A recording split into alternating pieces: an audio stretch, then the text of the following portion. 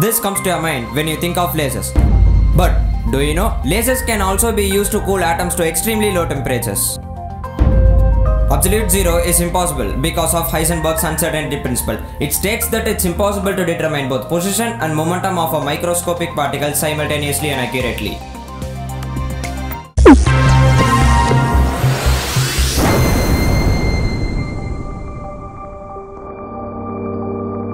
To cool a system, we need to slow down the particles moving in the system. Okay, but how do massless photons in a laser beam slow down particles having mass?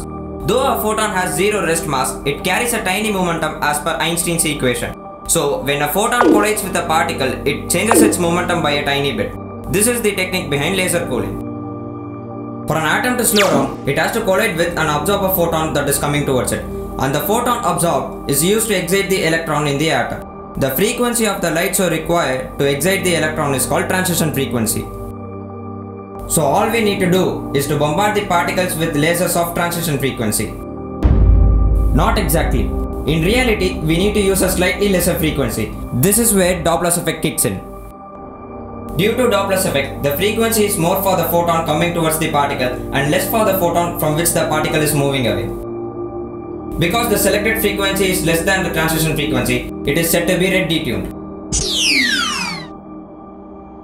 To laser cool a tiny sample of atoms, 6 laser guns are placed at 90 degrees to one another around it. The atom absorbs the red detuned photon coming towards it due to blue shifting and fails to absorb the photon from which the atom is moving away due to red shifting. Many such collisions slow down the atoms gradually and the sample gets cooled.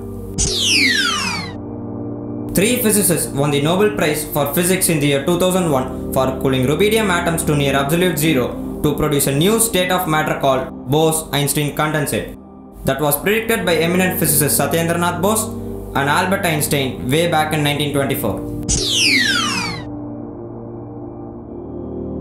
But why do we even want to cool anything to near absolute zero? Laser cooling has many applications. One application is in understanding the quantum physics near absolute zero. It's also used in extremely accurate atomic clocks installed on satellites, in high resolution spectroscopy, quantum computers, and in ultra precise measurement of gravitational fields for oil exploration.